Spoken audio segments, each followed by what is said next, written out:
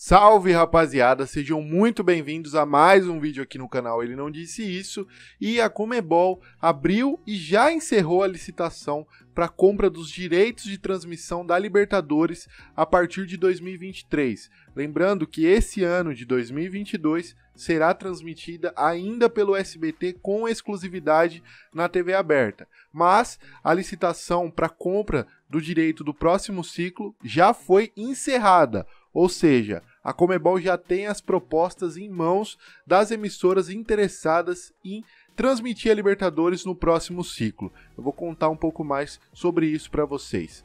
Antes, eu vou pedir o like de vocês. Deixa o like no vídeo, se inscreva no canal, ativa o sininho para receber notificação, que isso é muito importante. Não leva dois segundos do seu tempo e é de graça. É de graça.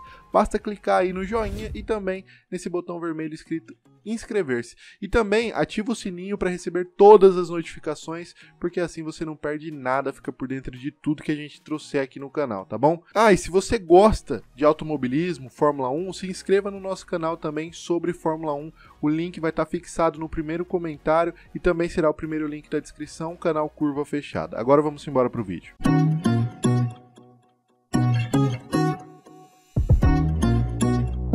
A briga pela Copa Libertadores da América e demais torneios da Comebol, período entre 2023 e 2026, chegou ao ápice. O edital de licitação da Confederação Sul-Americana abriu prazo na sexta-feira, dia 18 do 3, para receber proposta e encerrou meio-dia deste domingo, dia 20 do 3, horário do Paraguai, país onde está a sede da Comebol.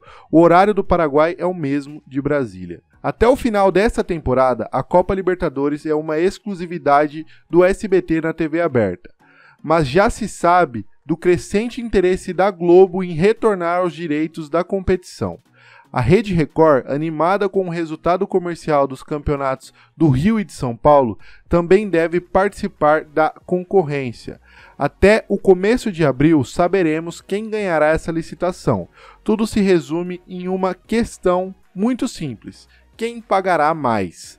Agora, veja na íntegra o edital de licitação da Comebol. Abre aspas a Confederação Sul-Americana de Futebol, a Comebol, anuncia o lançamento da licitação RFP para os direitos de transmissão da América Latina da Comebol Libertadores, Comebol Sul-Americana e Comebol Recopa para o ciclo de 2023-2026 e convida as emissoras e empresas de mídia a participar e apresentar suas propostas.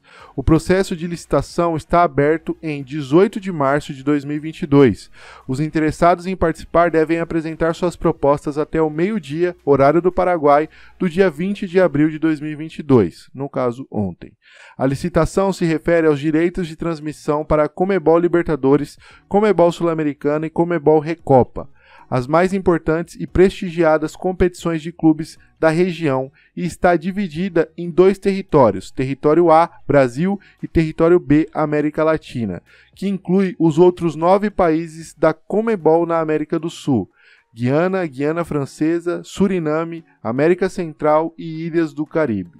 Haverá oito pacotes disponíveis para escolher, de A a H que vão desde o pacote de jogos por sinal aberto e por inscrição até os novos pacotes de Instant Clips e Highlights. Os direitos poderão ser exercidos a partir do 1 de janeiro de 2023, mas não antes de 31 de dezembro de 2026. De acordo com informações do site Wall, a Globo fez um acordo para pagar 223 milhões de reais à Comebol como forma de indenizar a entidade pelo contrato rescindido. Sem tal acordo, ela não poderia participar da licitação. A expectativa era que até o dia de ontem o SBT fizesse o máximo de esforço para se manter donos dos direitos de transmissão da Libertadores. O veículo de comunicação ficou bem posicionado no Ibope do estado de São Paulo, o principal mercado publicitário do país, em vários dias que exibiu jogos da competição. Vale destacar que a emissora de Silvio Santos não se restringe aos times do eixo Rio-São Paulo. O SBT também exibiu um clássico entre Grêmio e Internacional em 2020 e optou por transmitir o duelo entre Palmeiras e Atlético Mineiro quando tinha o Flamengo na outra semifinal da Libertadores em 2021. Além de tudo isso, não será surpreendente se a TV Record entrar forte no processo. O canal televisivo tem investido em torneios de futebol. Então aí são três emissoras de TV aberta do Brasil muito interessadas na, na Libertadores para o próximo ciclo. A Globo sempre teve os direitos de transmissão da Libertadores, mas em decorrência da pandemia, ela rescindiu o contrato com a Comebol, julgando que os valores era muito, eram muito elevados aí para ela continuar mantendo e pagando. Mas um tempo depois, eles entraram em acordo e a Globo está pagando essa multa à Comebol e restabeleceu os laços que antes tinham sido rompidos. A Comebol, na minha visão, tem a preferência da Globo, porque trabalhou por muito tempo com a emissora e agora elas já se acertaram. Mas a relação com, a, com o SBT, da Comebol com o SBT, também é muito boa. Esses dois anos aí que o SBT está transmitindo a Libertadores, agradou muito a cúpula da Comebol pela atenção especial que eles dão ao torneio, já que antes disso o SBT não transmitia nada de esporte, praticamente nada, há muito tempo. Com isso, o, a, a Comebol também tem um carinho especial com o SBT. A Record corre por fora nessa briga, visando aí voltar a transmitir esportes com mais frequência, já está transmitindo o Campeonato Carioca e também o Campeonato Paulista, tentando trazer outros eventos esportivos ao canal, mas corre por fora, na minha visão, nessa briga pelos direitos de TV aberta de transmissão da Copa Libertadores. Mas no fim das contas, vai levar quem pagar mais a Comebol, porque a, a, a, imagem é a própria Comebol que disponibiliza e se um, um, uma emissora conseguir apresentar um projeto de um programa exclusivo a Libertadores, dando atenção ou incluindo a Libertadores em, seu, em sua programação diária e pagando mais, a Comebol vende os direitos e aí vai virar um leilão. Na verdade, não vai porque a licitação já está fechada. Vamos ver o que vai acontecer, quem fez a melhor proposta e quem vocês acham, quem vocês gostariam que transmitisse a Libertadores. Gostariam que voltasse para a Globo? Gostaria que continuasse no SBT? Ou quem sabe fosse para Record ou alguma outra emissora? Lembrando que estamos falando de TV aberta.